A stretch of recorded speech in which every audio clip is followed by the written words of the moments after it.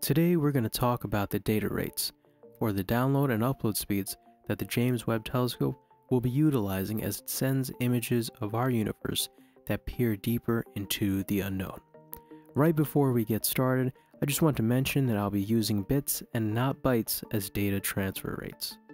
As a quick reminder, 1 byte equals 8 bits, and so 1 megabyte equals 8 megabits.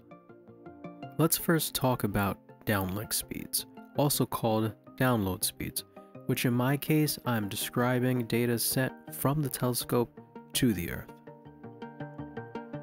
The Webb telescope is currently configured to send data, downlink data, at 8 megabits per second, data such as science and telemetry data. It does this by using the 26 GHz Ka band coming off of a high gain antenna. The onboard high gain antenna has the capability of sending data at a maximum speed of 28 megabits per second. You might wonder why the Webb telescope is configured to connect at 8 megabits per second when in fact it could theoretically send up to 28 megabits per second. The reason is because the theoretical speed just describes the bandwidth. In other words, the maximum capability of the high gain antenna on the Webb telescope. This is the maximum number that can occur if everything goes completely right when sending data from point A to point B. And that is not always the case because there are numerous factors such as weather around the ground stations, network traffic, and more that can reduce data rates. And therefore, we are left with the throughput, or the practical speeds of 8 megabits per second. However, as ground stations in the deep space network improve, that throughput number can move up closer to 28 megabits per second. Next is the uplink speeds, also called upload speeds. This describes data sent from the Earth to the Webb telescope. Data such as command and ranging info.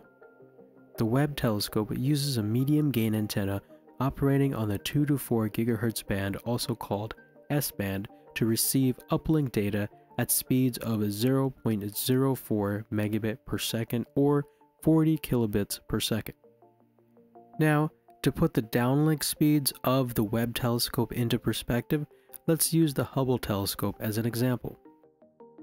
The Hubble telescope is able to send data at a maximum speed of 1 megabit per second, which is 8 times less than the throughput of the Webb telescope.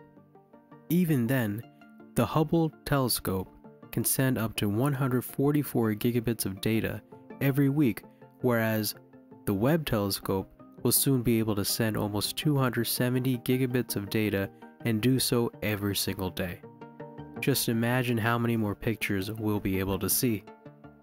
What is even more incredible is the fact that the Webb telescope will be able to transmit data at those higher downlink speeds from a distance of 1.5 million kilometers, which is significantly further than the Hubble telescope that sits in a low Earth orbit at a distance of only 550 kilometers. And after doing the math, the Webb telescope will be communicating with the Earth from a distance that is 2,700 times further than the Hubble telescope. And let's never forget about the space probe Voyager 1, which is currently, at the time of this video, 23.3 billion kilometers, and that's billion with a B, from Earth. Voyager 1, the farthest traveled man-made object, can still send data back to us at a max downlink speed of 0.0028 megabit per second, or 2.8 kilobits per second, but only for 3 minutes every week. Real-time data is sent at a much slower 0.00016 megabit per second or 0.16 kilobit per second. And that wraps up our discussion on data transfer rates of the Webb telescope and how it compares to the Hubble telescope.